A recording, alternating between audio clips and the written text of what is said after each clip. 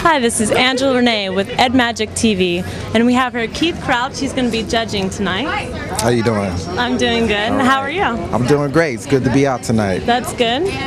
Is there anything new going on with you, or? No, I'm just in the lab right now working with some new talent and uh, have some things coming out within the next end of the year, early next year.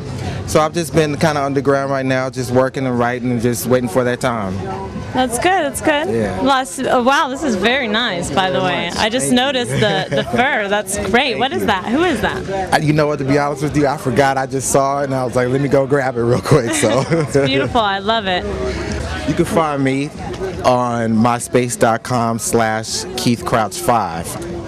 So this is Keith Crouch saying what's up to Ed Magic TV.